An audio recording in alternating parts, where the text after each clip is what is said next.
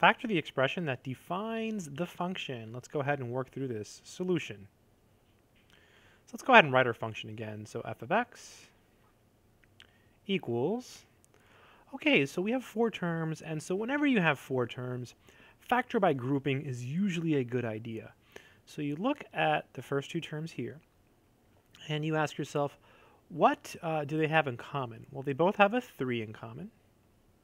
And they also both have, looks like an x squared in common.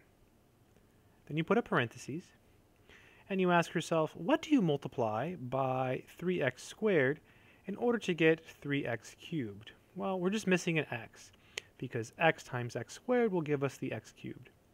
Now you look at the next piece, and you ask the question again, what do you multiply by 3x squared in order to get negative 9x squared? Just a negative 3 should do it. And then you close the parentheses.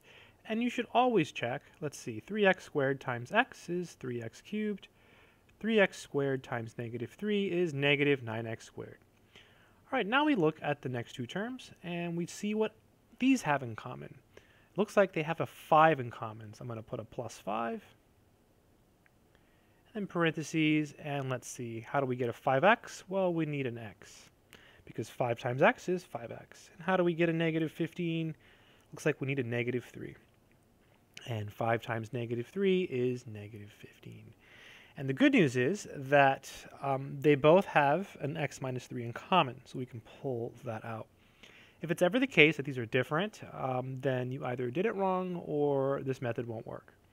All right, so f of x is equal to, now we can pull out the x minus 3, so x minus 3, and let's see, parentheses, what do we multiply by x minus 3 in order to get this top piece?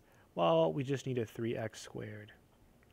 And then what do we multiply by x minus 3 in order to get this piece here? We just need a 5. And we have factored the expression that defines the function. I hope this video has been helpful.